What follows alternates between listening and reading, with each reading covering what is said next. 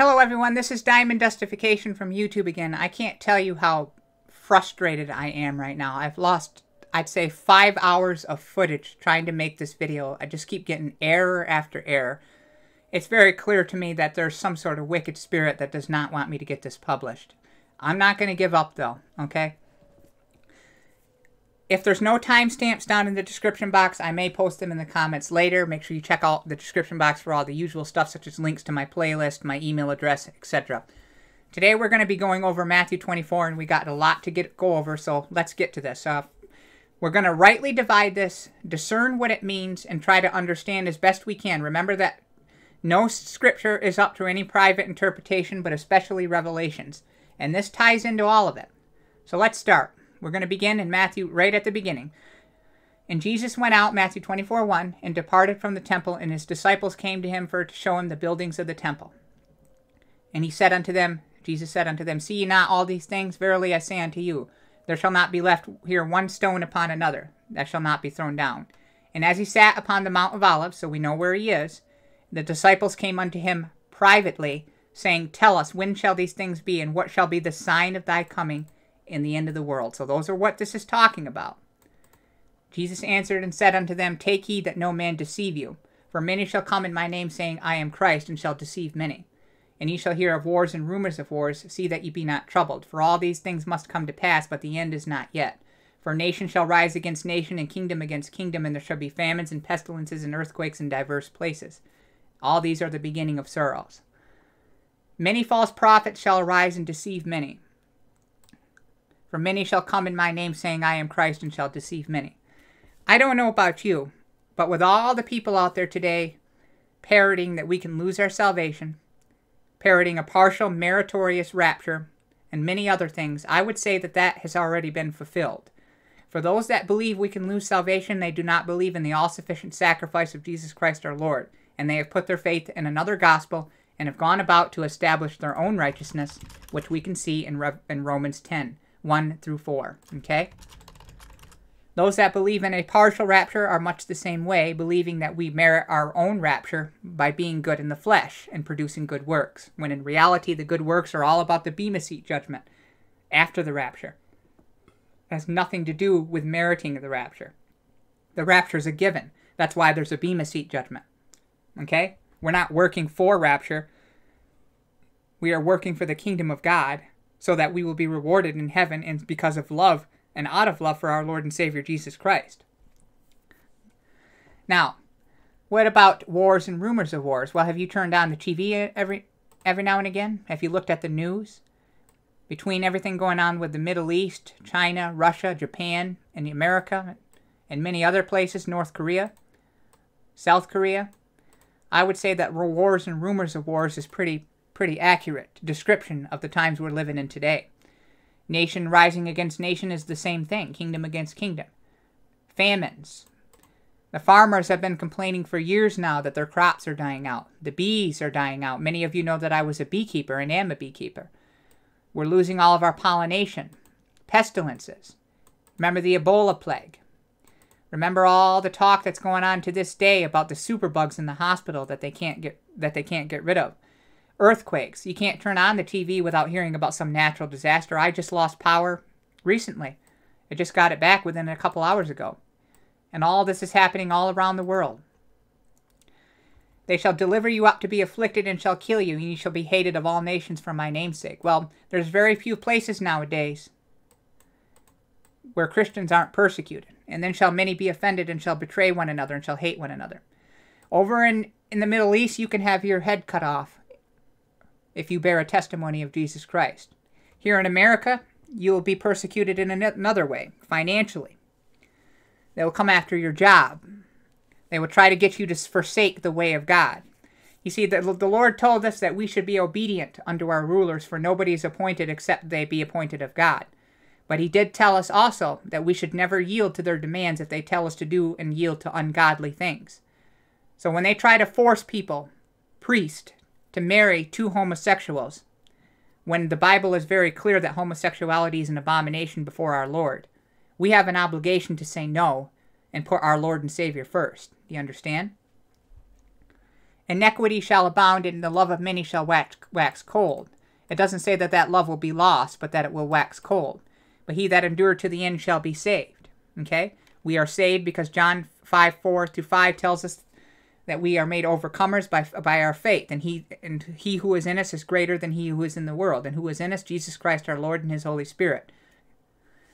And the gospel of the kingdom shall be preached in all the world for a witness unto all nations, and then shall the end come. So now the, the subject has changed. The end has now come the abomination of desolation, which cannot happen until he who now letteth who let, which is us in the Holy Spirit, that is, the church in the Holy Spirit.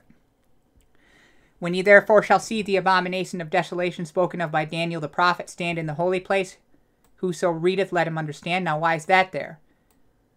Because those who see this thing unfold will know exactly what is being what is happening here. This is a now some people will say that he's alluding to a future generation, which is true but he's also alluding to those who are going to be in the tribulation period. And we see that in the contrast of, of who it's being spoken to here. Then let them which beware in Judea flee into the mountains. Let him which is on the housetop not come down to take anything out of his house, neither let him which is in the field return back to take his clothes. And woe unto them that are with child, and to them that give suck in those days. If you are a mother in the tribulation and you can't find your child, that is because your child has been raptured. He's been taken up to be the Lord. Okay? It, even if you were pregnant with a child and that child is suddenly gone, if you're no longer pregnant, that child is with the Lord. The best thing you can do, instead of searching and running around frantically looking for him or her, is to put your faith in Jesus Christ, because in that way will you ensure that you will meet him again. Okay? Or maybe meet him for the first time. But pray ye that your flight be not in winter, neither on the Sabbath day. Who keeps the Sabbath? Now, there are some Christians who keep the Sabbath, but for the most part, this is a reference to who? The Jews. For then shall be great tribulation, such as was not since the beginning of the world to this time, nor shall ever be. And except those days should be shortened, there should be no flesh be saved. But for the elect's sake, the elect Jews, those days shall be short, shortened. Then if any man shall say unto you, Lo, here is Christ, or there, believe it not. for there shall arise many false Christs and false prophets, and shall show great signs and wonders, insomuch that if it were possible, they shall deceive the very elect. Notice what it says there. If it were possible. If it were possible. Meaning it is not possible that they can deceive the elect. In the same way that we in the church age, the age of grace, are, not, are kept by our Lord and Savior Jesus Christ, so too will th- those elect in the tribulation be kept by our Lord and Savior Jesus Christ. They will not fall away. They will not lose their salvation because they are elect of God, not because of their own merit. It, it is not possible that they will be deceived even by these great signs and wonders. Behold, I have told thee before. Wherefore, if they shall say unto you, Behold, he is in the desert, go not forth. Behold, he is in the secret chambers, believe it not. The desert, the secret chambers, Jews. I've got to keep checking this to make sure um, that I don't that I don't lose my recording again. Okay. For as the lightning cometh out of the east and shineth even unto the west, so shall also the coming of the Son of Man be. For wheresoever the carcass is, there will the eagles be gathered together. Immediately after the tribulation of those days. So the, the sun shall be darkened, and the moon shall not give her light, and the stars shall fall from heaven, and the powers of the heaven shall be shaken. And then shall appear the sign of the Son of Man in heaven, and they and then shall all the tribes of the earth mourn, and they shall see the Son of Man coming in the clouds with heaven, with power and great great glory, the clouds of heaven. And he shall send his angels with a great sound of a trumpet, and they shall gather together his elect from the four winds, from one end of heaven to the other. Elect from the four winds implies Jews. This is the elect of Jews, okay? And we're going to see that. It's interesting that the parable of the fig tree comes just after this, which establishes that. Keep in mind also that this has no contextual relevance to the rapture verses. They do not sound the same because they are not the same. These are two distinct events, and we're going to look at that. The lesson of the fig tree. Now learn a parable of the fig tree. When its branch is yet tender and putteth forth leaves, you know that summer is nigh. So this is referring to when Israel became a nation again in 1948. A generation is is 70 to 80 years long, depending upon the strength of that generation. So likewise, ye, when ye shall see all these things, know that it is near, even at the doors. Verily I say unto you, this generation shall not pass till all these things be fulfilled. Heaven and earth shall pass away, but my word shall not pass away. What does that mean? We are the last generation until the rapture, according to the prophecy here. Now, I'm not claiming to know the day or hour, but I but that doesn't mean that we can't recognize the season. Okay? But of that day and hour knoweth no man, no not the angels of heaven, but my Father only. If you claim to know the day or the hour, then you are speaking unwisely. And guess what? The post and mid tribulation rapture both claim to know the day or the hour and the time. Okay? Because you're saying that you know that, that it will happen on a specific day at a specific time. Okay? That is in the tribulation, the time or the hour, at this day, the mid or the post trib. Therefore, you are in violation of Matthew 24 36. But as of the days of Noah were, so shall also the coming of the Son of Man be. For in those days, for as in those days that were before the flood, they were eating and drinking, marrying and giving in marriage until the day that Noah entered into the ark. The Gentiles enter into the ark, and knew not until the flood came and took them all away. Excuse me. so shall also the coming of the Son of Man be. Then two shall be in the field, the one shall be taken and the other left, under one to perdition, the other into the millennial. Two women shall be grinding flour at the mill, the one shall be taken and the other left. That is what this is referring to, flour. Some people have a real hang up with this verse. Which therefore, for ye know not what your Lord doth come. Watch therefore, for ye know not what hour your Lord doth come. Excuse me. But know this, that if the good man of the house had known in which watch the thief would come, he would have watched and not would not have suffered his house to be broken up. Therefore be ye also ready, for in such an hour as ye think not the Son of Man cometh. Who then is that a faithful and wise servant whom his Lord hath made ruler over his household to give them meat in due season? Blessed is that servant, whom his Lord, when he cometh, shall find so doing. Verily I say unto you that he shall make him ruler over all of his goods. But but and if that evil servant, unsaved, shall say in his heart, My Lord delayeth his coming, we're going to go into this, and shall begin to smite his fellow servants, and eat and to eat and drink with the drunken. The Lord of that servant shall come in a day when he looketh not for him, and in an hour that he is not aware of, and shall cut him asunder, and appoint him his portion with the hypocrites. There shall be weeping and gnashing of teeth. So that is Matthew 24 in a nutshell. Rightly divided, compared to Scripture. If you're going to try to dissect these things, you need to know the whole of the Bible. You need to look at the prior chapters and the, and the upcoming chapters. You need to know the entire gospel that you are reading, that is the gospel of Matthew in this case, and as well as the other gospels. You need to have a firm understanding of prophecy and revelations.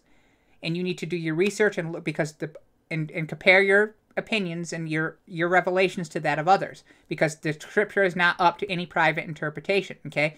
It says as much in the bible. Now take a look at these verses here and pay special attention to the color codes because these this is what we're going to be going over. Now the first thing we need to talk about is the fact that this is two distinct events. That is the second coming and the rapture. The rapture says 1 Corinthians 15, 51 and 1 Thessalonians 4, 16 through 17, Behold, I show you a mystery. We shall not all sleep, but we shall all be changed in a moment, in the twinkling of an eye, at the last trump. Okay?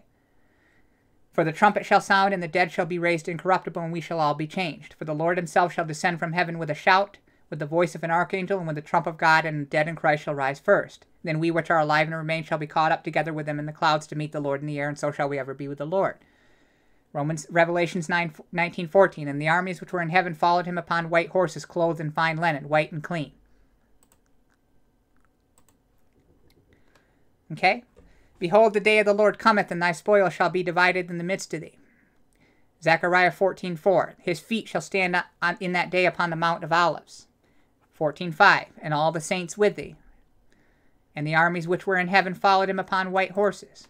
Revelations 19:11, the second coming, and I saw heaven open, and behold a white horse, and he, he that sat upon him was called faithful and true, and righteousness, and in righteousness he doth judge and make war. We've already established that a man who takes his wife will not go out to war immediately. So if Jesus Christ, if the rapture is post-trib and we are to go to war with him, he is breaking his own law when he came to fulfill the law. Okay? All will be fulfilled, not some. Second, he comes on a white horse. What's the point of going up only to come back down? Okay, so let's take a look at this. As we can see from the above, Matthew 24, 29 through 31 describes the gathering of the elect by the angels, but the verses which refer to the rapture only mention the voice of the archangel in the midst of which we rise to meet Christ. There is no description of being picked up and taken by angels to Christ. Two distinct events. In similar fashion, when comparing the other scriptures alongside each other, we see yet more distinctions. Revelations 19:14 describes us as coming with our Lord and Savior Jesus Christ, and the description of the second coming also makes a clear distinction between between Jews and Gentiles, while not at all meshing with any of the rapture verses. In Revelations 19:11, we see Jesus return on a white horse. No such thing is mentioned in the rapture verses. Finally, in 1 Corinthians 15, our Lord Jesus Christ comes by himself and does not touch down on the Mount of Olives. Whereas in Matthew 24, when language is compared to its other to its cousins, we know he descends with an army and does touch down. Now it says he has the voice of an archangel and the trump of God. But it is Jesus who possesses this voice, and Jesus who possesses this trump of God. He is by himself. The Lord himself shall descend with a heaven with a shout. He has the voice, he has the trump. The gathering in, happens in a moment, in the twinkling of an eye. Yet the second coming paints a completely different description. Okay? Similarity. The mention of a trumpet does not prove sameness. Just because a same word might be used does not mean that that word holds the same meaning. Fear has a lot of meanings in the Bible. Okay? We're going to look at that in the future too. The day and the hour. Matthew 24, 14, and then shall the end come. There's that distinction. Of that day and hour knoweth no man. And they shall fall by the edge of the sword, Luke 21, 24, and shall be led away captive into all nations in Jerusalem. Jerusalem shall be trodden down of the Gentiles until what? The time of the Gentiles be fulfilled. For I would not, brethren, that you should be ignorant of this mystery, lest you should be wise in your own conceits, that blindness in part happened to Israel until the fullness of the Gentiles be come in. So we know that that blindness is going to be removed from Israel in the time of the tribulation because that's when they're going to be sealed and flee into the wilderness with the testimony of Christ, Revelations 12. So the fullness of the Gentiles must come in before the start of the tribulation. We also know that the Jews are sealed at the start of the tribulation as well, Revelation 7. Once again, fullness of the Gentiles must have come in. For in that day is great, Jeremiah 37. Alas, for that day is great, so that none is like it. It is even the time of Jacob's trouble. There it is. How long is the tribulation period? Seven years. The seven, it's the last week of Dan, Daniel's 70 weeks. And there was given unto him a mouth speaking great things and blasphemies, and powers was given unto him to continue forty and two months, three and a half years. Seventy weeks are determined upon thy people and upon thy holy city to finish the transgression and to make an end of sins, and to make reconciliation for iniquity and bring ev- in everlasting righteousness, and to seal up the vision of prophecy and to anoint the most holy. Who is his people? Israel the Jews. He shall confirm the covenant with many for one week, and in the midst of the week, three and a half years, he shall cause the sacrifice to cease. If we read Matthew 24 carefully, we see that the subject being discussed changes multiple times. In 24, 1 through 14, the signs of the times are discussed. Okay? Along with a reference to the rapture. And, raf- and, and 15 through 31 speaks of the tribulation period. Okay? The abomination of desolation, he who now letteth will let. Who is he who lets but, but the Holy Spirit in the church? That is us. The second coming of our Lord Jesus Christ. It also speaks of that. And, and 32 through 51 establishes the rapture. No man knows that day or hour. Okay? But now let's figure out what's going on here. Who are the elect? And we're going to be going into this more deeply than what I have here. His elect from the four winds, elect from the four winds, and the trumpet. Pay attention to those. Now, Exodus 19:16 through 18 establishes that a trumpet is a call to a meeting in some cases. But Isaiah 65 through 7:16 paints an interesting picture. Your iniquities and the iniquities of your fathers together, saith the Lord, which have burned incense upon the mountains and blasphemed me upon the hills. Therefore will I measure their former work into their bosom. So let's take a look at that.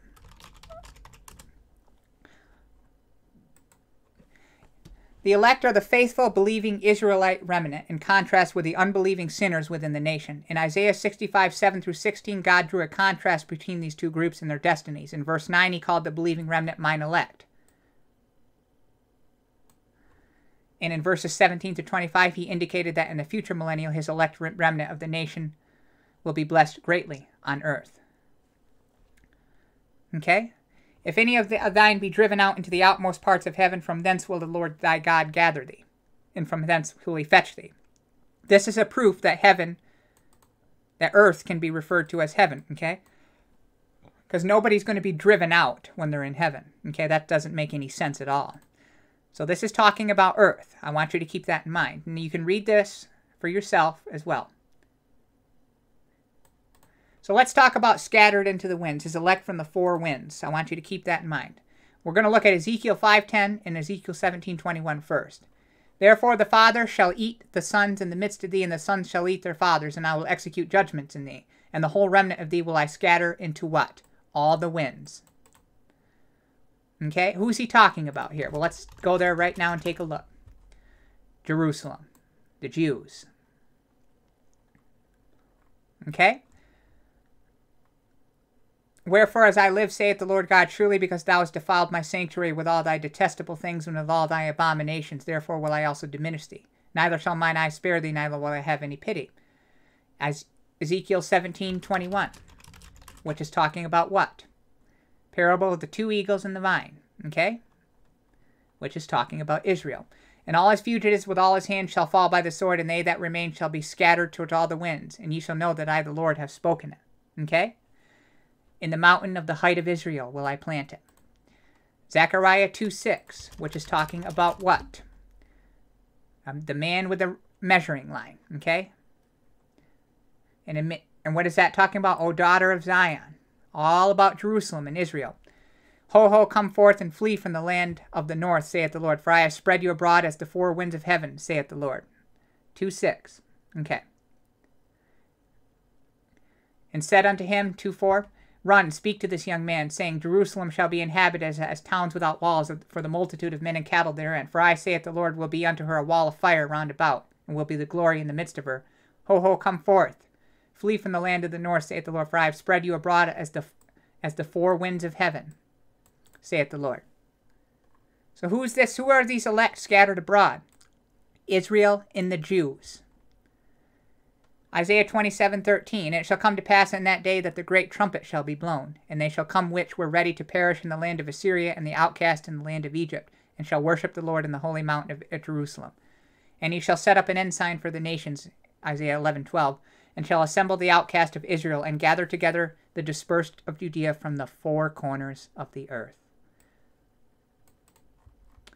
It is quite clear that since the church is not mentioned in Matthew 24, verse 31 cannot be a reference to the rapture of the church. Instead, as one studies the context and Old Testament references our, that our Lord alludes to, it becomes quite clear that he speaks of an end time regathering of elect Israel in order to return them to the land for the millennium. At Christ's first coming, he wept over Jerusalem and expressed his desire to gather Israel to himself. The way a hen gathers her chicks under her wings, and you were unwilling. The Jews were unwilling. Matthew 23, 37. At his second coming, elect Israel will look upon him whom they have pierced. Zechariah 12, 10. And say, Blessed is he who comes in the name of the Lord. Psalms 118 to 26, Matthew 23 to 39. Maranatha. Let's take a look at that last trump now. Immediately after the tribulation, with the great sound of a trumpet. Okay? Gather together who? Israel and the Jews. For the Lord himself shall descend from the heaven with the voice of an archangel and with the trump of God. But in the days of but now now now now compare First Thessalonians 4:16 to Matthew 24:31 and you can already see that there's a difference here. Like I said, our Lord comes with his own voice, with the trump of God, by himself. He doesn't touch down. There is no gathering of angels, but we rise up to meet him. We do not turn around and come back. Revelations 10:7 also says something interesting about the seventh trumpet of Revelations. But in the days, plural, of the voice of the seventh angel, when he shall begin to sound, the mystery of God should be finished as he hath declared to his servants the prophets. What is finished? The mystery of God. This points that, th- that these trumpets are pointing to future events. And I want you to keep that in mind as we go forward here, because it's going to be important. The seventh revelation trumpet also goes on for many days. That means that it cannot happen in a moment or the twinkling of an eye. Moreover, the wrath starts in Revelation 6:17. For the great day of his wrath is come, and who shall be able to stand? For God hath not appointed us to wrath, the saved Christians, but to obtain salvation by our Lord Jesus Christ. 1 Thessalonians 5 9. Okay? These are pointing towards divine judgment that is about to fall in the bowls. So let's take a closer look, though. Number one, a person can't overlap the trumpets with the last seal because the seventh seal is a half hour of silence. You can find that in Revelations 8. And trumpets can't sound during a silence. Some say that the rapture is the seventh trumpet, but that can't be right because none of the trumpets can start until after the seventh seal. You can find that again in Revelations 8. And the fifth trumpet takes at least five months, Revelations 9 5. Therefore, the trumpet plagues in Revelation 8 cannot be the same as the trumpet call of God, in 1 Thessalonians 4:16 because they can't start until after the multitude is already in heaven, Revelations 5 and 7. Plus the fifth trumpet, 5 months. Can't happen in the twinkling of an eye. The problems with the mid-tribulational rapture view as well as the partial rapture are fourfold. Number 1, it is impossible to espouse a mid-tribulational view of the rapture and hold to the concept of imminency. According to this view, the appearance of the Antichrist, his covenant with Israel, and the destruction caused by the four horsemen must occur before Christ can return. Therefore, the rapture cannot happen today. Yet it says that we know not the day or the hour. And if you go to Second Thessalonians 2, remember what I told you before, okay? Let no man deceive you, for that day shall not come except there come a falling away first, and that man of sin be revealed, the son of perdition. This is likely referring to his signing of the peace covenant. Now, even though these two verses are connected by the semicolon, 2 Thessalonians 2 4 is merely a description of the Antichrist and the man of lawlessness, okay? These, these are not preludes to that day, okay? Except there come a falling away first, and that man of sin be revealed, the son of perdition, is where this sentence ends. This goes into a description of who the son of perdition is. Understand? The rapture can happen at any time. The last trumpet of 1 Corinthians 15 and the seventh trumpet are not identical. The last trumpet of 1 Corinthians 15, the same as that of, first, of Thessalonians 4.16, first, signals the completion of the believer's salvation as he meets his Lord. The seventh trumpet is the last one in a series announcing divine judgment on earth. There is even a later trumpet sounded during the tribulation to gather the elect of the second advent, Matthew 24:31. Similarity does not prove identity. Just because there's a trumpet mentioned doesn't mean it has to be the same trumpet in this verse. You understand? Even the first part of the tribulation reveals God's wrath, not simply human or satanic wrath. Those in Revelation 6 16 through 17 recognize that the sealed judgments are the wrath of the Lamb. In Revelations 5, it is Christ who breaks the seals and releases judgment on the earth. The two witnesses of Revelation 11 could not possibly be the church because the witnesses are literally killed and lie in the literal streets of literal Jerusalem for three days. Some Bible scholars prefer to see the prophet's ministry begin at the midpoint of the tribulation and conclude prior to the second advent. The seventh trumpet you ushers in not the second half of the tribulation, but the messianic kingdom. And here you can read some of those verses which are alluded to up here. I want you to keep an eye on the 12 stars, because we're going to be getting into Revelations 12, because that ties into the mid tribulation. Let's take a look at the wicked servant first, because some people will say that these wicked servants lost salvation, okay? The kingdom of heaven is like unto a certain king which made a marriage for his son, Jesus Christ. So God the Father made a marriage for Jesus Christ his son. He sent forth his servants to call them that were bidden, the prophets, calling the Jews to the wedding, and they would not come. Again he sent forth other servants, saying, Tell them which are bidden, Behold, I have prepared my dinner. All things are ready, come unto the marriage. But they made light of it and went their ways, one to his farm, another to his merchandise. And the remnant took his servants, it's interesting they're called remnant, and entreated them spitefully and slew them. But when the king thereof heard, he was wroth, and sent forth his armies, and destroyed these murderers, and burned up their city, the destruction of Jerusalem. Then saith he to his servants, The wedding is ready, but they which were bidden were not worthy. So go unto the Gentiles, and bid them to the marriage to make the Jews jealous. Here is another parable. And, and here I'm going to go all the way down to Matthew 24, 41. But first, we're going to look at 38. But when the husbandman saw the son, they said among themselves, This is the heir. Come, let us kill him let us seize on his inheritance. So the Jews killed Jesus Christ. And they caught him and cast him out of the vineyard and slew him. When the Lord therefore out of the vineyard cometh, what will he do unto these husbandmen? They say unto him, He will miserably destroy these wicked men, and will let out his vineyard unto other husbandmen. So the Gentiles are called husbandmen too. So you can be a husbandman, a servant, and not be saved. You understand? But the Gentiles will, will produce the fruit in their season a nation bringing forth the fruits thereof. And what fruit is he alluding to? Well, Romans 6 tells us. Now, being made free from sin, you and become servants to God, you have your fruit unto holiness, and the end thereof everlasting life. For all have become under the condemnation of sin, but thank God that the gift of God is eternal life through Jesus Christ our Lord. Interesting. But let's take a closer look. Now, I said that the children of the kingdom are unsaved. But the good seed in Matthew 13 38 are called the children of the kingdom, but the tares are the children of the wicked one. But if you look at Matthew 18 12, the children of the kingdom shall be cast into outer darkness, and shall be weeping and gnashing of teeth. Again, trump, trumpet, trumpet, trumpet. It doesn't have to mean the same thing. You understand? You have to know the context of the particular verse you're reading. I'm sorry that I keep checking to make sure that I haven't lost my recording here. Let's take a look at the more interesting proof, though. Did you uh, happen to catch Matthew 24, 51, shall cut him asunder and appoint him his portion with the hypocrite, so shall be weeping and gnashing of teeth. The Lord of that servant's going to come upon this man in an hour when he looketh not for him. Luke 12, 46, which parallels Matthew 24, 51, says, The Lord of that servant will come in a day when he looketh not for him, and in an hour when he is not aware, and will cut him asunder, and will appoint him his portion with the unbelievers. If he has a portion with the unbelievers, he's not saved. But the more interesting proof here is the fact that he comes upon him at a day when he looketh not. Because 1 Thessalonians 5 4 and 5 tell us that that will not happen to a truly saved believer. But ye, brethren, are not in darkness, that that day should overtake you as a thief. So if the day overtakes you as a thief, then you are in darkness. You are children of light, and the children of the day. We are not of the night nor of the darkness. Okay? So if he's of the darkness, he's not saved. And where do we find that proof? Well, we look at 1 John 1 5. If we say that we this then this then is the message which we have heard of him and declare unto you that God is light and in him is no darkness at all. If we say that we have fellowship with him and walk in darkness, we lie and do not the truth. And what is the truth?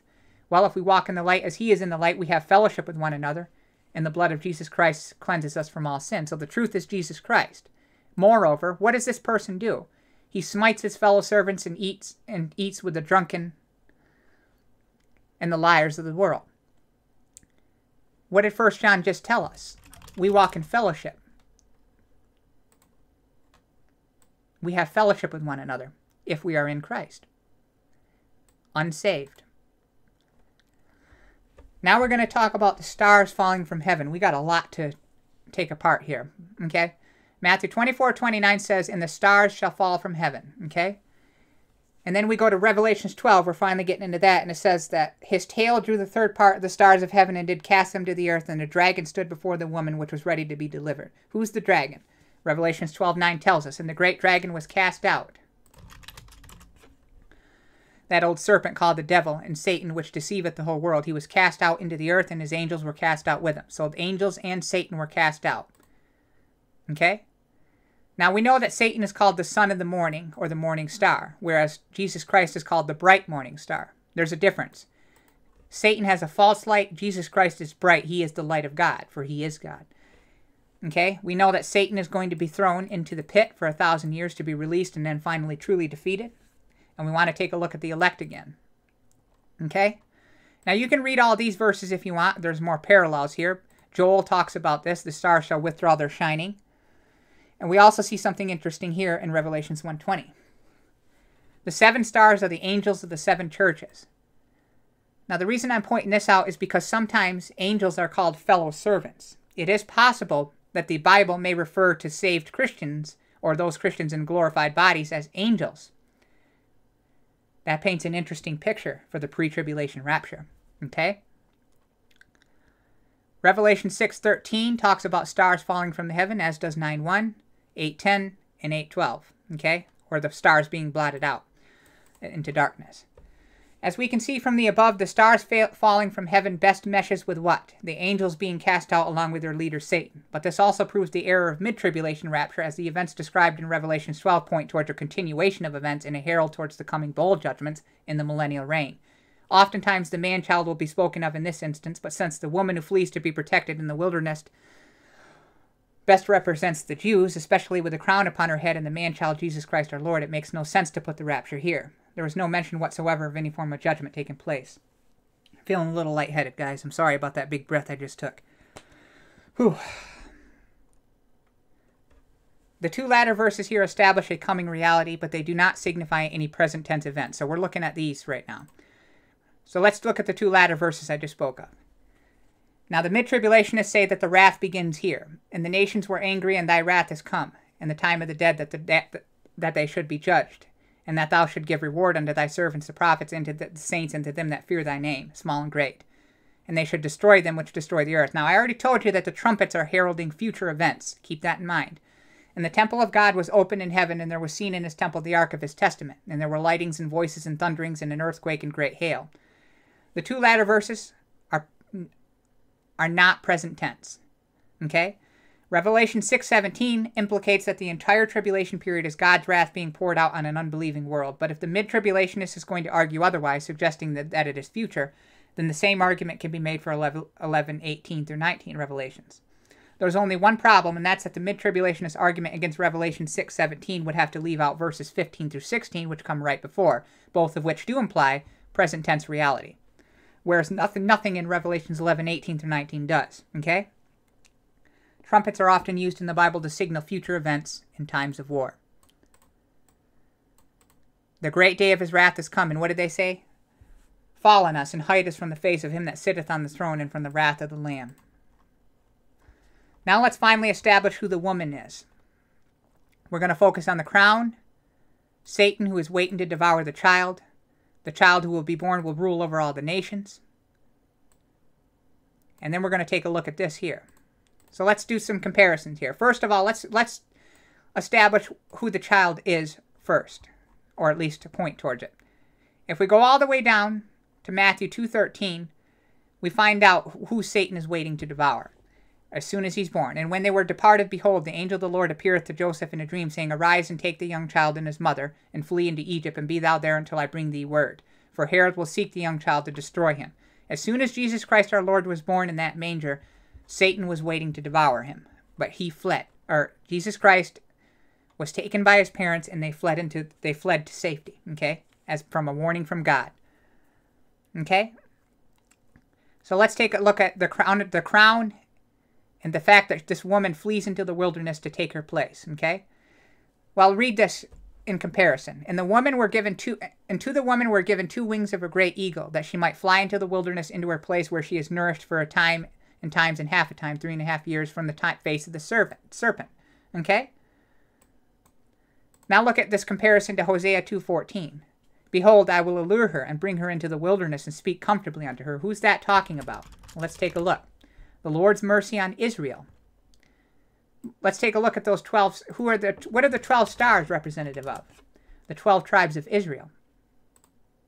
So this woman is representative of Israel, the man child is Jesus Christ. We know that salvation is of the Jews, and he will rule with a rod of iron. Okay? Israel is often referred to as the wife of God. If any man put away his wife. So let's look at Isaiah 54 1 through 6. The eternal covenant of peace. Israel. Jeremiah 3 1. Faithless Israel called to repentance. Hast thou seen that which backsliding Israel hath done? She has gone up on, upon every high mountain and under every green tree, and, and he, there hath played the harlot. And I said, After she had done all these things, Turn thou unto me. But she returned not, and her treacherous sister Judea saw it. And I saw, when for all these causes whereby backsliding Israel committed adultery, I had put her away, and given her a bill of divorce. Yet her treacherous sister Judah feared not, but went and played the harlot also.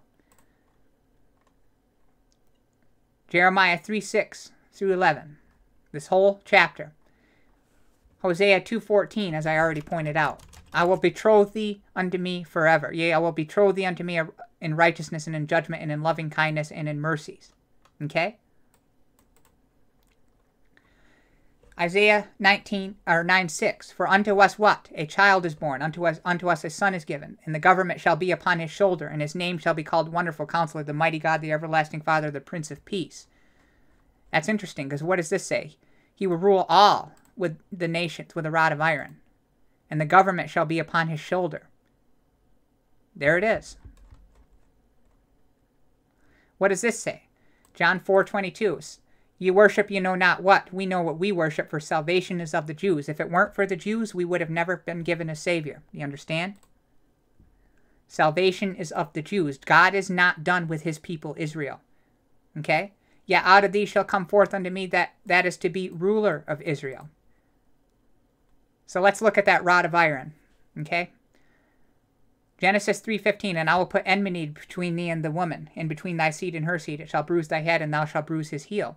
I will declare the decree. The Lord hath said unto me, Thou art my son, this day have I begotten thee. Thou shalt break them with a rod of iron. Who's that talking about? Jesus Christ. Psalms 2, 7 through 9. Revelations 19.5, the second coming. What does that say? And out of his mouth goeth a sharp sword, that with it he should smite the nations, and he should rule them with a rod of iron. And he treadeth the winepress of the fierceness and wrath of Almighty God. The Lord saith unto me, Sit thou at my right hand until I make thine enemies thy footstool. Psalms 110.1. Romans 9.4. Who are Israelites, to whom pertaineth the adoption and the glory and the covenants and the giving of the law and the service of God and the promises? Whose are the fathers, and of whom is concerning the flesh Christ came, who is over all, God blessed forever. Amen. He is over all. But when the fullness of the time is come, God sent forth his Son, made of woman, made under the law, to redeem them that were under the law, that we might receive the adoption of sons saying, Where is he that is born King of Jews? For we have seen his star in the east and are come to worship him. O Lord our God, how excellent is thy name in all the earth, who has set thy glory above the heavens. This has nothing to do with the mid tribulation. The woman is representative of Israel. The man child is Jesus Christ our Lord. The dragon is Satan. And the woman will flee for three and a half years at the end of the, near the end, ending of the tribulation to be protected by God because she bears the testimony of Jesus Christ, which means there's no post trib either because the Israelites, these sealed elect Israelites and Jews, are saved. And if there's post trib, there will be nobody left to repopulate the millennial kingdom. Do you understand? And it has nothing to do with mid tribulation. All of this stuff comes together, brothers and sisters, if you read the Bible and rightly divide. I don't have a problem if you believe in the mid or post trib or pre wrath or any of that stuff, but the problem is, is that many people that believe in the post or mid trib think that we can lose our salvation. They think that they have to maintain their salvation, and yet the Bible makes it very clear that we are saved by faith and only faith. I will not blot out his name, he that overcometh. You will not be blotted out of the book of life if you overcome. And how do you overcome? 1 John 5 4. Whatsoever is born of God overcometh the world. And this is the victory that overcometh the world, our faith. Who is he that overcometh the world but he, he that believeth that Jesus is the Son of God? Okay? Those that believe we can lose our salvation believe say things like this I will worship and obey Jesus Christ because if I don't, I will go to hell. But a once saved, always saved person says this I will strive to obey Jesus Christ with the power of his Holy Spirit put within me because of what he has done for me and because I love him. Okay? Love is the fulfillment of the law, not fleshly effort. We are to work out our salvation with fear and trembling, but what exactly does that mean? Well, Psalms 2:11 tells us, "Serve the Lord with reverence, fear, and rejoice in trembling." And if you do not believe that this kind of fear is talking about reverence, then take a look at 2 Corinthians 7:15. This is talking about how Titus being received by this church and it says they received him with fear and trembling. Were they cowering in a corner somewhere? The fear of the Lord is the beginning of wisdom, but it is not the end of wisdom, okay? And it says that there is no fear in love. Now it says there's no fear of God, no reverence of God before them. That's true. But perfect love casteth out fear, because fear hath torment, and he that feareth is not made perfect in love. We love him because he loved us first. Whosoever loveth is born of God. We will never be separated from his love. Love is synonymous with salvation. Love is the fulfillment of the law.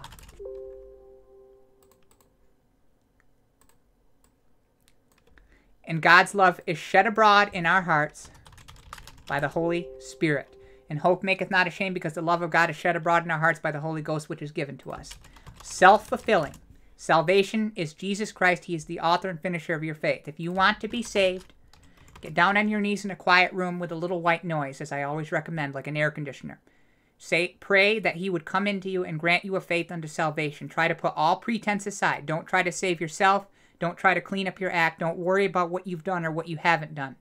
Okay? All of that comes after. You are saved unto good works. Okay? You are not saved by good works. You are not kept by works. You understand? Sanctification of the Holy Spirit comes after. The fruit of the Spirit, every good tree produces good fruit. That fruit is inward, not outward. That's the error of the Lordship salvationists. They say that you got to help 7,000 grannies across the street if you want to be or stay saved. But the reality is, is that every good tree does produce good fruit, because the good fruit that you will produce is the fruit of salvation. Your first fruit you produce is salvation. Belief unto salvation. Okay? 1 Corinthians 15. God so loved the world that he sent his only begotten Son, our Lord and Savior, Jesus Christ, down into it. He was born of a virgin. He lived a sinless life. He was crucified on the cross of Calvary, shedding his blood and water for the forgiveness of our sins. He took the wrath of God meant for us upon himself. He died. He rose again on the third day after having been buried. He was seen of many. He ascended into heaven. And he is seated at the right hand of the Father in heaven, having been appointed judge. Okay? If you believe that, you will be saved. We are the righteousness of Christ. You understand?